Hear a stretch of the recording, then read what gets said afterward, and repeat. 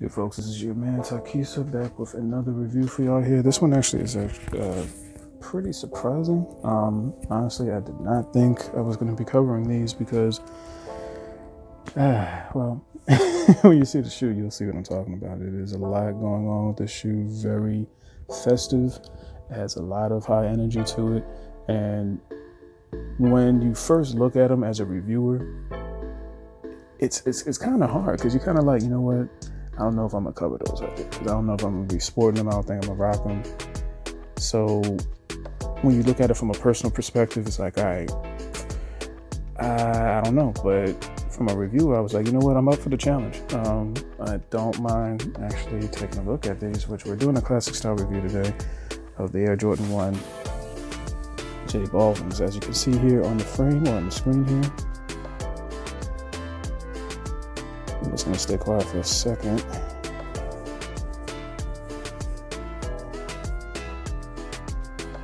Yeah, definitely leave your comments in the comment section or hit me up on Instagram. His information is right there on the screen, as you can see. Um, yeah, let's look at these a little closer here overall. Now, the material itself, as far as on the upper, kind of reminds me of the sustainable uh, materials for the uh, Air Jordan 1 Crater that came out. Um, and then, of course, the Community Gardens or Lemon Wash, which I'm just making sure that you guys and ladies can see the picture on the screen. See what shoes I'm talking about in comparison. Um, yeah, these are for my boy. Um, he asked me about these, and I was like, you know what, sure. I mean, I don't mind. Uh, let's see if I can get this out just a little bit cool. I don't mind, uh, you know, getting them for you. Because my whole thing about it, folks, is that if you're gonna spend, you know, the money on the shoes, because there's so many other things that's going on. You got your bills, you got, you know, your family members, friends, whatever. You're just trying to make sure you maintain so you're not, you know, broke. so if you are gonna spend money on these shoes, you know, whether it's the J Balvins or any particular Jordan shoe or Adidas or whatever, you definitely want to make sure that you're uh, saving money at the same time, if at all possible. So that's where these alternative options come into play, and that's um, that's something I can get behind honestly because with my massive collection, it didn't cost much. you know what I mean? And I, and I sincerely tell everybody who asks me, my family members and friends, like, yo, it was like thousands of th- uh, dollars I was spending forget about it. Not be doing this. You see the exposed foam on the tongue? And then on the back here, we got the J Balvin smiley face with the lightning bolts for eyes. Uh, I know while I'm saying this, kind of like, man, these jumps is crazy. That's all I keep thinking. Um, and we see the insole, which of course has the lightning eyes, smiley face, uh, and then the insole color looks more like a Volt color here. So let's put these down for a second. I'm gonna put them right here. And we're gonna get into the basic information the shoe real quick before I keep talking about it, so give me a moment here. So this particular style, um, best way you could look at it as far as actual colors and, and everything on it. Um, well, let's let's go into it real quick. It originally unveiled during a halftime performance on America's uh, biggest stage, which is of course football, NFL. Um, this exclusive AJ1 uh, uses an eclectic mix of colors, to say the least, the textures and graphics to reimagine the classic silhouette the image of Colombia, Colombian recording artist J Balvin. Now, rough sewn overlays blurred the design's typically crisp design lines. A spectrum of neon hues inject the look with an aggressive burst of energy.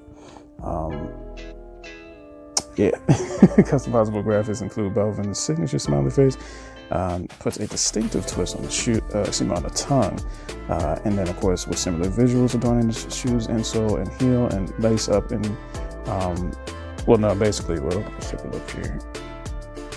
Yeah, you can definitely lace up and you know march to the beat of your own drum with this. I mean, there's really no other way to put it.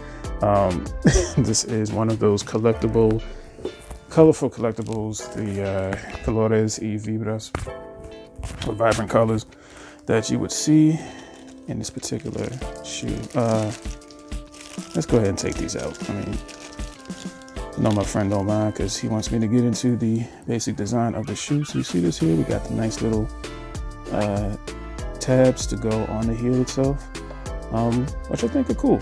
You know what I'm saying? I mean, I, and I get it. A lot of people that's probably watching this like, wow, these things are just all over the place. But I mean, sometimes it doesn't have to be the same uh, cookie cutter design. You know, we take the basic silhouette and then we, as a people, can improve on it and bring to it our own unique spin on the uh, Air Jordan 1 silhouette overall, which I think that's what J Balvin did. They were just like, look, create your own shoe, go nuts. we just don't want to change the overall shape of the shoe, but other than that, have fun. So you got these little things here that can go on the heel, right? So let's take a look here. So let's um switch one out. We got tiny basketball here, so let's take that off here. Put his uh, signature face on here.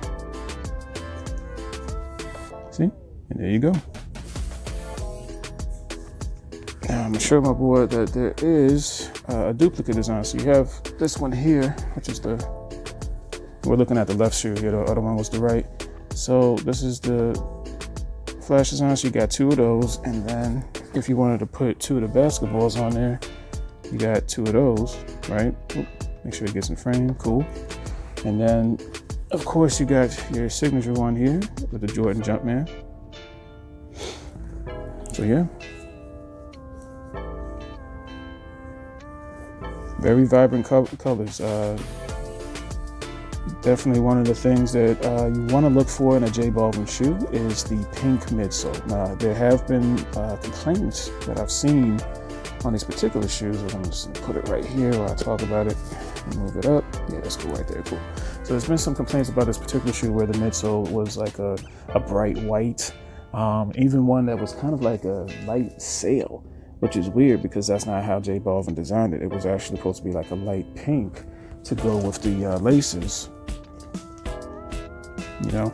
And that's a good thing about this particular one here because laces which are you know pink as well these are light pink. They're not as like a dark pink like um like you would see on your travis scott's air jordan ones. This is a, a much lighter color here. Now you have your other laces which of course we're looking at the white lace here which is what's up. And then we have our volt gold laces. And i only say that because um, when the original release came out for the Volt Golds. Well, hey, we're not going to get into that until I actually get the shoe, um, which I may or may not get. I'm to see. I'm to see. I mean, heck, I got these right here, right? So, um, Volt Golds are definitely much more timid compared to these, uh, you know, Fuego shoes right here. Now, some people would say these are Basura, but I, I don't agree with that because I respect anybody's choice as far as the way they would design the shoe for themselves and for their fans.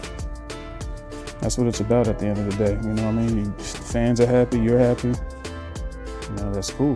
There's nothing wrong with that. Let's look at the left shoe right quick, make sure they are matching on the tongue. Are they though? I don't think they are. Nope, you got your Jumpman on the left side. You got your J Balvin insignia smiley face, Watchman looking uh, face on the right. And then on this one here, you got your J Balvin smiley face, and then a mixture of the Jumpman on the other one here. So that's cool. Oh, and of course, we would want to look at the, the box right quick. So I'm just to put these here for a second. And here's the box.